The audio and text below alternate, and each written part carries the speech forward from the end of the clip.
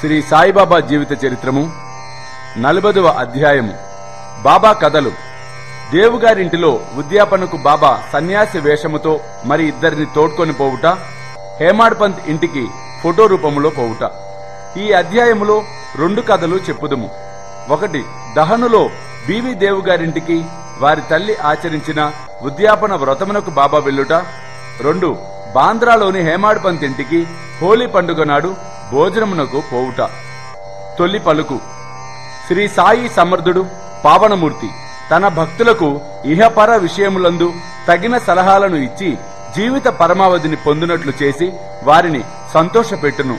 సాయి తన హస్తమును భక్తుల తలపై పెట్టి తమ శక్తులను వారిలోనికి పంపించి భేద భావమును నశింపజేసి అప్రాప్యమును ప్రాప్తింపచేయును. వారు తమ భక్తుల ఎడ భేదము లేక నమస్కరించిన వారిని కౌగలించుకొనువారు. వర్షాకాలములో నదులు కలియు సముద్రము వలె బాబా భక్తులతో కలిసి తమ శక్తిని స్థాయిని శిష్యులకు ఇచ్చును. దీనిని బట్టి ఎవరైతే భగవత్ భక్తుల లీలలను పాడెదరో వారు భగవంతుని లీలలను పాడిన వారి కంటే అంతకంటే ఎక్కువగాని దేవుని ప్రేమకు పాత్రులు అగుదురని తెలియవలను. ఇక ఈ అధ్యాయములలోని కథల వైపు మరలుదుము. దేవుగారింట ఉద్యాపన వ్రతము. దహనులో బీవీ దేవుగారు మామలతదారుగా నుండెను వారి తల్లి ఇరవై ఐదు ముప్పై నోములు నోచెను. వాని ఉద్యాపన చేయవలసి ఉండెను. ఈ కార్యములో వంద రెండొందల బ్రాహ్మణులకు భోజనము పెట్టవలసి ఉండెను. ఈ శుభకార్యమునకు ముహూర్తము నిశ్చయమయ్యను. దేవుగారు బాపు సాహెబ్ జోగు గారికి ఒక లేఖ వ్రాసిరి. అందులో బాబా ఈ శుభకార్యమునకు దయచేయవలయననియు వారు రాకున్నచో అసంతృప్తికరముగా ఉండునని వ్రాసెను. జోగు ఆ ఉత్తరము చదివి బాబాకు వినిపించెను. మనఃపూర్వకమైన విజ్ఞాపనను విని బాబా ఇట్లు అనెను.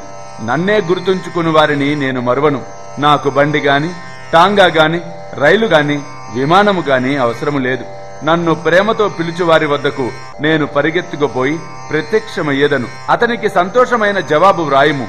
నీవు నేను ఇంకొకరు సంతర్పణకు వచ్చేదమని వ్రాయము. జోగ్ బాబా చెప్పినది దేవుకు వ్రాసెను. దేవుగారు ఎంతో సంతసించిరి. కాని బాబా రహతా రూయి నీమ్గాం దాటి ప్రత్యక్షముగా ఎక్కడికి పోరని ఆయనకు తెలియను. బాబాకు అశక్యమైనది ఏమీ లేదు. వారు సర్వాంతర్యామి అగుటచే హఠాత్తుగా ఏ రూపమునైనా వచ్చి తమ వాగ్దానమును పాలించవచ్చు అని అనుకొనెను. ఉద్యాపనకు కొద్ది రోజుల ముందు బెంగాలీ దుస్తులను ధరించిన సన్యాసి ఒకడు గో సంరక్షణకై సేవ చేయుచు దహను స్టేషన్ మాస్టర్ వద్దకు చందాలు వసూలు చేయు మిషతో వచ్చెను. స్టేషన్ మాస్టారు ఊరిలోనికి పోయి మామలతదారును కలుసుకొని వారి సహాయంతో చందాలు వసూలు చేయమని అనెను. అంతలో మామలతదారే అచ్చటికి వచ్చెను. స్టేషన్ మాస్టారు సన్యాసిని దేవుగారికి పరిచయం అనర్చెను. ఇద్దరు ప్లాట్ఫారం మీద కూర్చుండి మాట్లాడిరి. దేవు ఊరిలో ఏదో మరొక చందా పట్టి రావు సాహెబ్ నరోత్తమ శెట్టి నడుపుచున్నాడని ఇంకొకటి ఇప్పుడే తయారు చేయుట బాగుండదని చెప్పి రెండు లేదా నాలుగు మాసముల పిమ్మట రమ్మని చెప్పాను. ఈ మాటలు విని సన్యాసి అక్కడ నుండి పోయాను. ఒక నెల పిమ్మట ఆ సన్యాసి ఒక టాంగాలో వచ్చి పది గంటలకు దేవు గారి ఇంటి ముందర ఆగెను. చందాల కొరకు వచ్చెనేమో అని దేవు అనుకునెను. ఉద్యాపనకు కావలసిన పనులలో దేవుగారు నిమగ్నులే ఉండుట చూచి తాను చందాల కొరకు రాలేదనియు భోజనమునకై వచ్చితననియు సన్యాసి చెప్పెను. అందుకు దేవు మంచిదండి. చాలా మంచిది. మీకు స్వాగతము.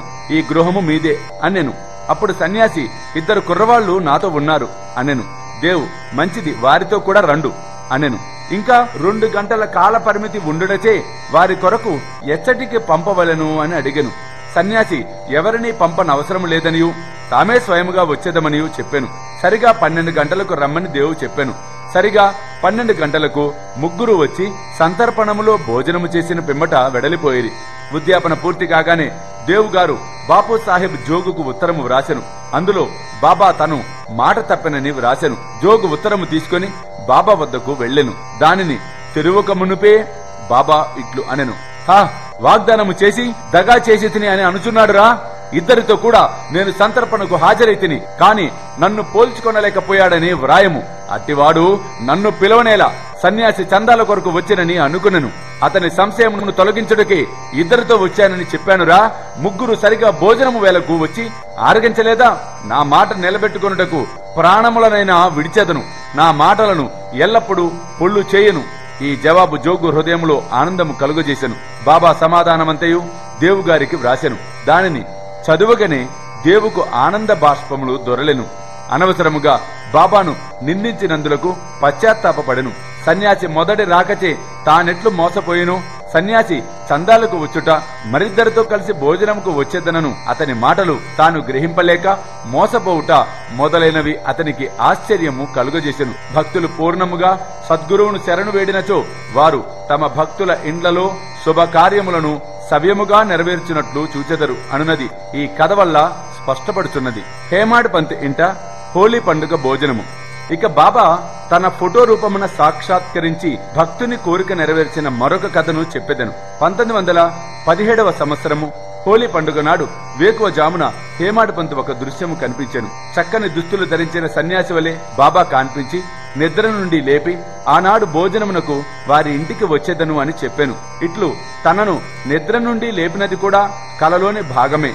నిజముగా లేచి చూచేసరికి సన్యాసి గాని బాబా గాని కనిపించలేదు. స్వప్నమును బాగుగా గుర్తు తెచ్చుకొనగా సన్యాసి చెప్పిన ప్రతి మాట జ్ఞాపకమునకు వచ్చెను.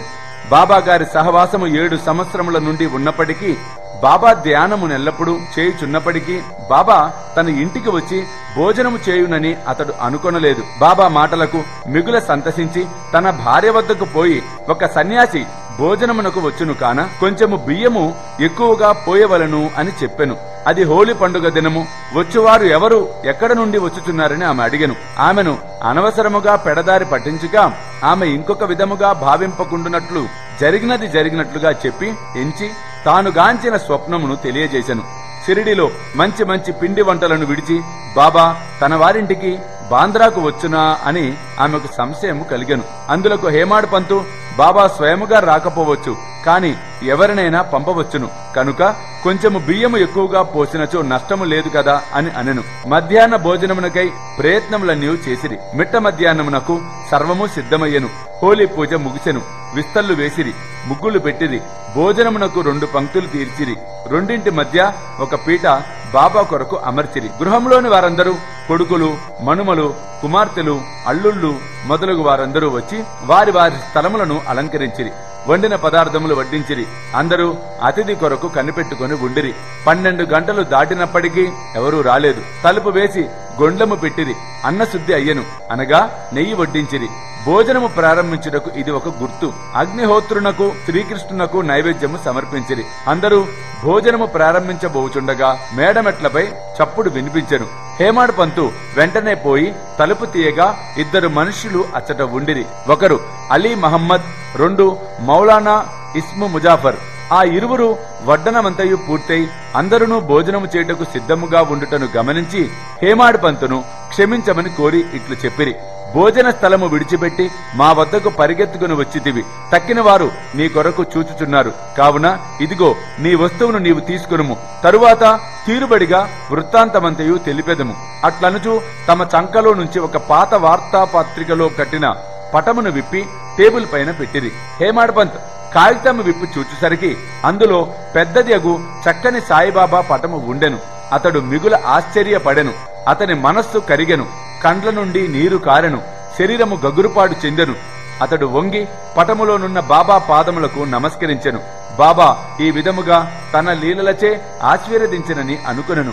గొప్ప ఆసక్తితో నీకా పటము ఇట్లు వచ్చెను అని అలీ మహమ్మద్ను అడిగెను. అతడు పటము యొక్క అంగడిలో కొంటిననియు దానికి సంబంధించిన వివరములన్నీ తరువాత తెలియజేసేదను అని అనెను. తక్కిన వారు భోజనమునకు కనిపెట్టుకుని ఉండటచే త్వరగా పొమ్మని అనెను. హేమాడ్ పంత్ వారికి అభినందనలు తెలిపి భోజనశాలలోనికి పోయెను. ఆ పటము బాబా కొరకు వేసిన పీటపై పెట్టి వండిన పదార్థములన్నీ వడ్డించి నైవేద్యము పెట్టిన పిమ్మట అందరూ భుజించి సకాలమున పూర్తి చేసిరి. పటములో ఉన్న బాబా యొక్క చక్కని రూపమును చూచి అందరూ అమితానంద భరితులైరి. ఇదంతయు ఎట్లు జరిగినని ఆశ్చర్యపడిరి. ఈ విధముగా బాబా హేమాడు పంతుకు స్వప్నములో చెప్పిన మాటలను నెరవేర్చి తన వాగ్దానమును పాలించుకొనెను. ఆ ఫోటో వివరములు అనగా అది అలీ మహమ్మద్నకు ఎట్లు దొరికెను అతడెందుకు తెచ్చెను దానిని హేమాడ్ పంతుకు ఎందుకు ఇచ్చెను అనునవి వచ్చే అధ్యాయములో చెప్పుకొందుము. ఓం నమో శ్రీ సాయినాథాయ శాంతి శాంతి శాంతి. నలభైవ అధ్యాయము సంపూర్ణము. సర్వం శ్రీ సాయినాథార్పణమస్తు.